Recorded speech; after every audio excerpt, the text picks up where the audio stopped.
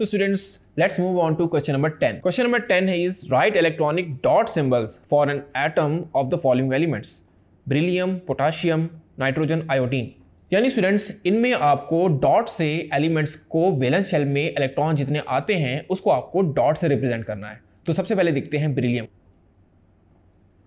Beryllium याद रखिए कि ग्रुप नंबर टू का एलिमेंट है, इसका मतलब इसके आखिरी शेल में दो इलेक्ट्रॉन आएँगे। आप इसको इलेक्ट्रॉनिक कन्फिग्रेशन करके भी देख सकते हैं कि इसका अटोमिक नंबर है फोर तो आप लिख सकते हैं one S two two S two तो सेकेंड शेल में देखें, दो इलेक्ट्रॉन आ रहे हैं तो आप ब्रिलियम को कुछ ऐसे करके लिखेंगे ब्रिलियम और उस पर आप दो डॉट लगा देंगे।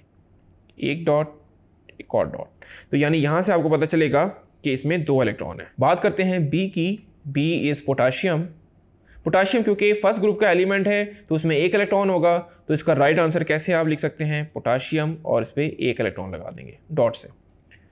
सी इज़ नाइट्रोजन नाइट्रोजन के आखिरी शेल में पाँच इलेक्ट्रॉन होते हैं तो आप नाइट्रोजन लिखिए, और इसमें फाइव इलेक्ट्रॉन लगा दीजिए। One two three four five D is iodine iodine halogen यानी सेवन ग्रुप का एलिमेंट्स है और मैंने आपको बताया था, जो जिसका ग्रुप होता है, उसमें उतने ही नंबर ऑफ़ इलेक्ट्रॉन्स होते हैं।